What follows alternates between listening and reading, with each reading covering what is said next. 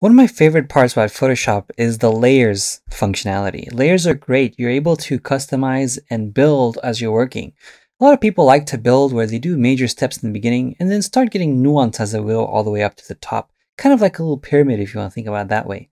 Infinite Radiance is no different. Although it looks really simple, there's so many fun things you could do with it. For example, stacking is one of them. Let me show you. So for instance, I have Infinite Radiance open here. And I kind of want to, you know, change the, the focus of this image a little bit. This is an image shot by Aakaash Bali, and he's a really great cinematic photographer. He's really masterful with his colors, and better for us because the more colors you have in an image, especially reds, greens, and blues, the more you can kind of play around with it. So let's say that I want to have a little bit of a better base to play around with, and I want to change the intention of the image.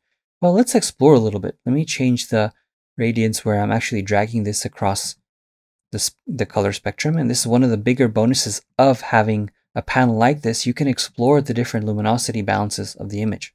For me, I really love it where you're injecting more light into the yellows. It's really nice. And in case you want to increase or boost the uh, saturation a little bit, I can simply add a hue and saturation adjustment layer or vibrance one, either one. And I can go ahead and increase saturation just a little bit like this. It kind of gives me a nice, uh, a moodier look if I so choose to. And this is uh, compensating for the fact that I've increased the luminosity a little bit and it's allowing me to bring back some more saturation as I add this on the second layer. Now, I can actually go ahead and add another uh, radiance panel adjustment layer here, which is a channel mixer. And the reason why I want to add another one is maybe I want to keep what I did initially because I like it a lot, but I want to explore and see if doing something else will further increase uh, my my notion to like this image. And so for me, I use the second one to push and pull colors a little bit more. I should say push and pull the channels a little bit more to change the luminosity and keep the first one as a kind of like a save state. And so that way I know that's going to be there even if I mess up on this one.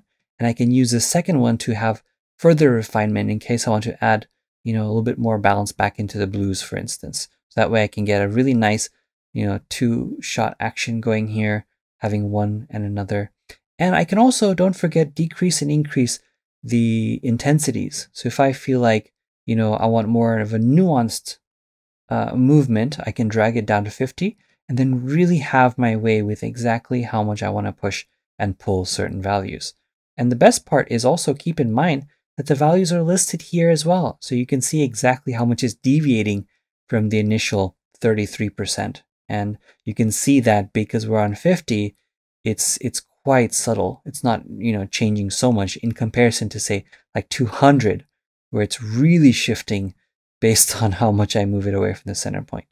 So that's kind of how I use stacking. You know, the intention is very different for each person. For me, you know, when I looked at it, um, I noticed that I wanted more yellows to brighten up so everything else could kind of darken down a little bit. Um, and that did happen for the most part. And then the second one here, I want to bring back the blues just a little bit so that there's a little bit more uh, luminosity going into the blues. And I'm going to drag it down to say 50 again because I like that nuanced approach. So I'm not doing too, too much. And, and just like that, it kind of brought some balance back. Let's take a look at the before and after by hitting option and clicking on the eye. You can see the, the subtle shifts that happen mostly towards saturation. And then from there, I can get a good idea of how much I do or do not want to push even further. And ultimately, based on what I saw, I kind of want to do push it a little bit further towards the yellows like this. And that way I have independent control of both sides. I think that adds a little bit more of a punch. And obviously, this is very, very personal. I love the way the reds in the glass itself start shimmering a little bit more. I like how the skin starts popping a little bit more. The highlights come off the skin a little bit nicely as well. There's more tension happening across. Let's take a look at the headdress, for example. See the headdress itself, the luminosity and the reds and the yellows kind of pop off as well without really touching too much of the other stuff.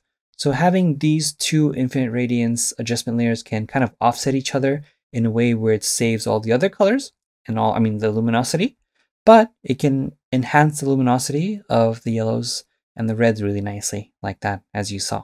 So Hopefully you liked it and thank you Aakaash for checking us out, letting us use your image. If you would like to see other tutorials, make sure you check out our site at infinite-tools.com and visit the Infinite Radiance section in order to see all of our tutorials.